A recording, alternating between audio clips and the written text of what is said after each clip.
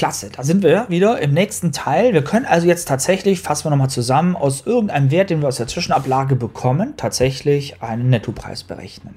Prima, wir müssen es jetzt nur schaffen, das Ergebnis in die App zu bekommen, aus der wir das eigentlich kopiert haben. So, und wir gucken mal hier auf dieses ähm, Auge. Wenn wir da draufklicken, dann öffnet sich hier so ein Texteditor. Und dort kann ich das markieren und mit Command C könnte ich es jetzt kopieren. Wechsel rüber mit Command Tab in den geöffneten Texteditor. Dort ist die 500 noch markiert und sage jetzt Command V und dann steht das Ergebnis da. So kriege ich es zumindest schon mal rüber in die App. Aber ist ja unpraktisch. Command Z, wir wollen es ja, dass es dort überschrieben wird. Also wir gehen nochmal zurück in die Kurzbefehle. Dieses Fenster hier schließen wir und wir müssen schauen, ob wir nicht eine Aktion finden, die den markierten Text in TextEdit, also die 500, überschreibt. So, und wir schauen mal, ob wir sowas finden. Wir klicken hier oben mal auf Text. Wir wollen ja irgendwas mit diesem Text machen. Und hier steht Text ersetzen. Wir klicken da mal drauf und schauen mal, ersetzt Text, der an die Aktion übergeben wird. Also hier wird irgendwas von der vorigen Aktion an diese neue Aktion übergeben und dort wird es durch einen anderen Text ersetzt. Hm, na, das ist nicht wirklich, was wir haben wollen. Ja, da könnten wir zwar aus dem Wort Haus das Wort Häuschen machen, ja, aber wir wollen den Text ja nicht ersetzen, sondern wir wollen, dass das Ganze hier jetzt aufhört zu berechnen und ja quasi das Programm beendet wird und dann den Text eben irgendwie wieder zurückgibt an diese App. Ja, also das passt hier nicht ganz. Wir gucken mal, ob wir hier vielleicht was finden, was hier eher dazu passt. Wir haben es fast auch schon gesagt. Was wir nämlich noch nicht gemacht haben, ist das Programm zu stoppen. Ja, das stoppt zwar mit der letzten Aktion, aber wir müssen das hier an der Stelle besser definieren. Und wir tippen jetzt oben mal stoppen ein. Und hier steht stoppen und ausgeben.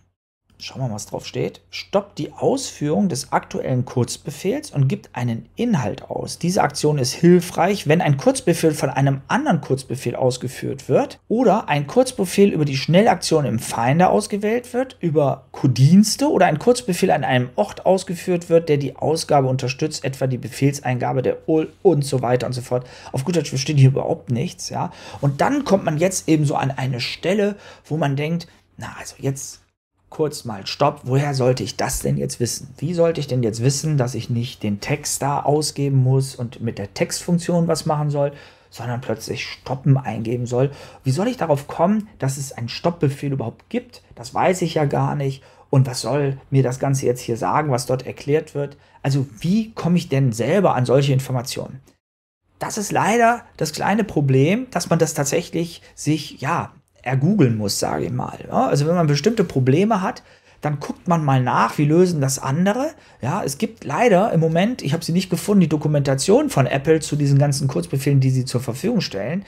Also bleibt uns nur das Know-how, was ich euch jetzt hier im Kurs vermittel, ja, dass wir das einfach lernen, dass es solche Befehle gibt. Oder wir müssen googeln und nachgucken. Oder wir gucken mal in der Galerie, die wir haben, bei den anderen Programmierern, wie machen die das denn? Ja? Aber tatsächlich ist das die Hürde, die man hat, wenn man in die Kurzbefehle einsteigt, dass man das überhaupt nicht weiß, was man da als nächste Aktion sucht. Und das dämpft manchmal ganz schön die Motivation, wenn man selber die Kurzbefehle machen möchte. In der Regel macht ihr nämlich das nach, was ich euch jetzt hier zeige. Das klappt ja dann auch, weil ich es ja auch hier mit euch zusammen mache.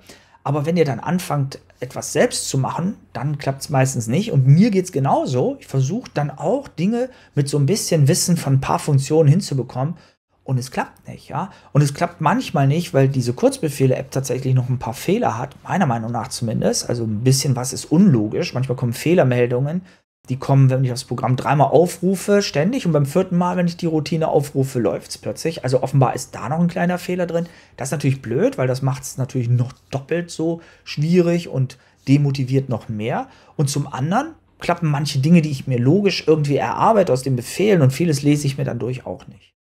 Kurzum, an der Stelle kann es sein, dass ihr die Motivation verliert. Und das darf nicht passieren. Wir müssen da jetzt konsequent durch. Erstmal zeige ich euch jetzt viele eigene Routinen. Und es ist tatsächlich so, während ich diese Serie hier produziere, muss ich mir wieder was Neues beibringen, um die Serie fortführen zu können. Ja, es fehlen mir auch noch sehr viele Kenntnisse über diese Kurzbefehle.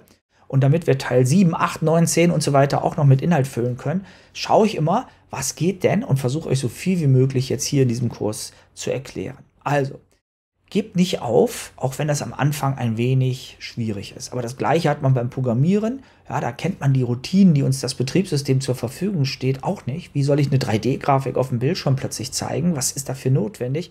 da muss man sich dann reinlesen, reinfuchsen, reinarbeiten. Das machen wir hier. Deswegen ist die Serie da. Wir nennen es ja Kurzbefehl der Einsteigerkurs. Ich bringe euch das bei, dass das geht. Und stoppen und ausgeben ist an der Stelle tatsächlich der richtige Befehl. Den schieben wir uns jetzt hier quasi zwischen. Und ihr seht, die Ausgabe verschwindet. Und wir gucken mal, was jetzt diese Routine gemacht hat, denn die ist klug, die hat ein paar Sachen gemacht. Also erst einmal stoppt die an dieser Stelle hier das Programm. Die Berechnung hat ja auch stattgefunden, das war's. Das Ergebnis der Berechnung, das ist nämlich das, was aus dem Kasten kommt. Wenn wir den Wert aus der Zwischenablage durch 1,19 teilen, kommt ja ein Ergebnis raus. Und dieses Ergebnis dieser Berechnung steht jetzt hier und das wird ausgegeben. Okay, aber wohin? Und das ist tatsächlich die Eigenart dieser Funktion und dieser Aktion an das Programm, wo es herkam. Ja? So, und das machen wir jetzt mal. Also, wir gehen jetzt mal zurück hierhin in den Texteditor, drücken Command C, dann gehen wir hier hin, drücken Play und jetzt wird es schon wieder hier ausgegeben. Ja, wir gehen nochmal zurück. Ist es hier geändert? Nein, es ist hier nicht geändert. Hm. Klappt nicht. Und da ist der Frust, ja. Warum geht's nicht? Warum geht's nicht, obwohl es der richtige Befehl ist? Und das müssen wir uns im nächsten Teil unbedingt anschauen.